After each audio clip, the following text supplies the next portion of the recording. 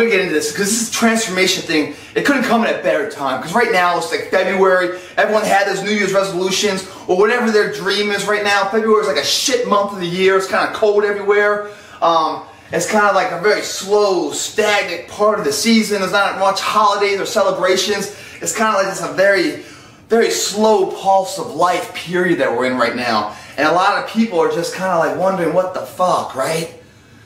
It's hard to find that that uh, intrinsic motivation to keep keep the fight alive. When I started uh, way back when, when I started Ranger School, man, I went into that program in the best shape of my life. If you go straight through it, 70 days. 70 days, that's going to take a little bit of everything you got, physically, but mo mostly mentally. You're going into that endeavor, and why do you go into it? Because the ideology of being an elite, to being a ranger, is something that really makes you feel proud if you can be part of that, that core group, man. So that's the reason you want to change, right? That's the reason probably you're looking at where you currently are and why you want to go into this transformation. Because where you currently are is something that, that is no longer acceptable to your terms. You want to, you want more of life. You, have been watching some motivational things, maybe you know, seeing some, some of the stuff I, I I've said, and somehow it's hit you in a way that yeah, dude, I want to get there too. I want to do this too. I want more out of my life. I want to make something of my life, right? So that's the ideology that starts the process. Yeah, I want to be a ranger, so therefore I'm going to enter that. That cannot be all it's about. You have to have a, an overwhelming force of a want, a need, a belief inside yourself that you believe in this. And once that happens, combined with the ideology of where you can be, the end state goal, once that is solidified, then you move forward without ever looking back. When you're moving forward, you're moving to where that greater good is. That person that you want to be, you must already be up here. You must believe it before you embark on that journey. If you don't, what will happen is the old you, the one you're trying to change from, the old subliminal thought processes will arise and start to take over you as the wear and tear begins, as the struggle starts to build up, as the task at hand becomes overwhelming, as the days become weeks and months with still no resolve yet, still going through the work in progress. As that continues to happen, you must have something greater that overrides all that despair to make it through. How do you do that? You shoulder the weakness. Sideline that motherfucker. You go into the endeavor. Ranger school, I went into it. I knew what I was going into. I knew it wasn't going to be easy. I knew I wanted to be that person at the end of the race, standing strong. I knew that, that those 70 days of sacrifice will be paid tenfold the rest of my life and other endeavors. Whenever I'm going through something hard in my life, and I'm wondering if I had the intestinal fortitude to get through it. I can go back in time to when I was in ranger school. And motherfucker, I made it then. I can do it now. It's a different theater of life, but the same fundamental principles of dedication, sacrifice, work ethic, due diligence to oversee the current situation for the betterment of where it's going to go will still continue the journey for me. I go into the endeavor knowing I am going to see the hardships and the headaches along the way. I welcome that. They don't surprise me. I expect them. That's a huge different terminology.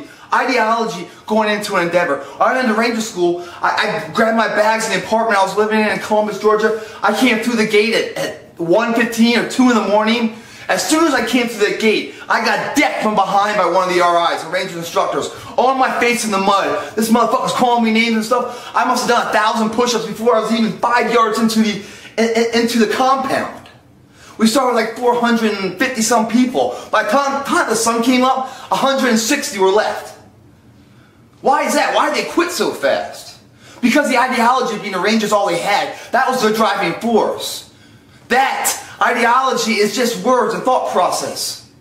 It's nothing, it's not strong enough to combat all the wear and tear it's going to take to transform that person into being that elite person.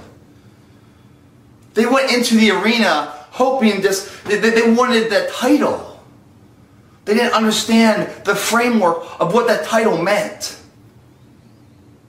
if you understand what it means, you understand how valuable it is, how it's desired upon. Anything that's desired takes everything you have. So you accept that. When I went through Ranger School, I said, yo, 70 days, I'm a prisoner. I'm a prisoner to this situation. I'm going through a sentence that when I get through, I will be that person I want to be. But until I get through that, I'm not going to think about the comforts of life. What it's like to actually have sheets and a pillow. What it's like to have food cooked that's warm. What it's like to actually sleep. To have nutrition in your body. To have, take a shower. To be able to sit on a toilet and after you finish taking a dump, wiping your ass. Those little luxuries in life were no longer present in the situation. For me to think about them would only cause demise and a weakness for the journey I'm in. I had to separate myself from them. I could not compare where I was to where I once was. I had to look forward saying, hey, I'm willing to sacrifice today for tomorrow's betterment.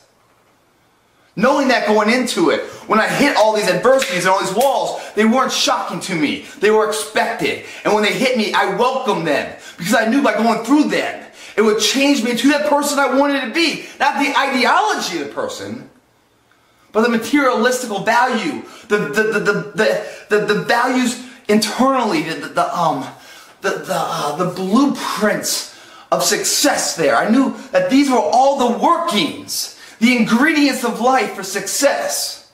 They were all little lessons that once mastered would be the, the, the lines that formulates the picture of the person I wanted to be. I had to go through them. I didn't want someone to give me something. I wanted to earn the motherfucker. So going into that, that arena, that endeavor, expecting that set me up for success. Big difference there. If all I'm doing is hoping to get the goal, the journey will be impossible. You have to understand the goal, the value of the goal, why that is so special.